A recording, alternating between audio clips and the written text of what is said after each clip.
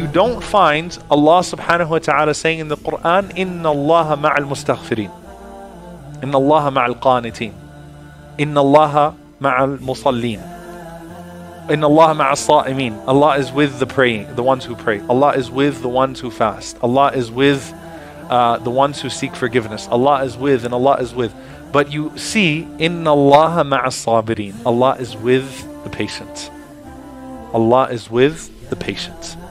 Subhanallah. This is where Hafid ibn Rajab rahimahullah, he said that I, I've studied all of the ayat and the ahadith where Allah subhanahu wa ta'ala mentions His ma'iyyah.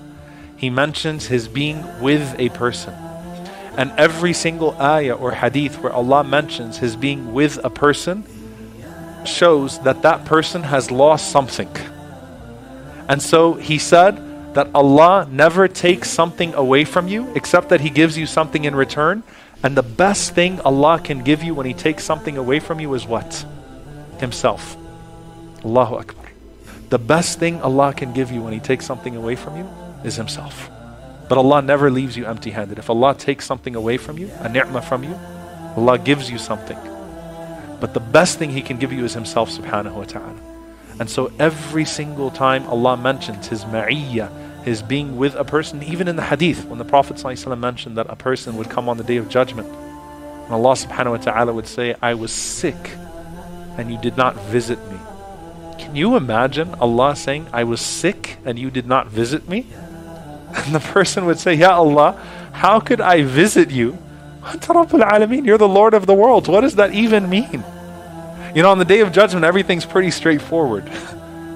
That's one of those conversations where a person would be shocked. Ya, Allah, you were sick? I didn't visit you? What does that even mean? And Allah subhanahu wa ta'ala says, Didn't you know that so and so was sick? And had you visited that person, you would have found me with him. You would have found me with him. So Allah never takes a ni'mah from you except He gives you something in return. The best thing Allah can give you is Himself. If in your hardship you rediscover a meaningful relationship with Allah subhanahu wa ta'ala, then you better believe that that hardship is the best thing that ever happened to you. Whatever that hardship was, whatever that bala was, if that was the cause of you to find Allah and to rediscover Allah subhanahu wa ta'ala, Alhamdulillah.